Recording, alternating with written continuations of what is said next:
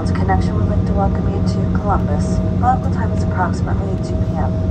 For your safety and the safety of those around you, please remain seated with your seatbelt securely fastened and your carry-on items stowed until the aircraft is parked at the gate and the captain has turned off the seatbelt sign. Use caution when opening overhead bins as contents may have shifted.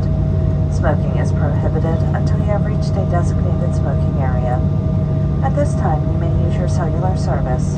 However, larger electronic devices must remain stowed. Please don't forget to take a look around your seat and make sure you have everything you brought on board. On behalf of Delta and your entire crew, we've enjoyed having you on board and we look forward to seeing you soon. Have a wonderful day.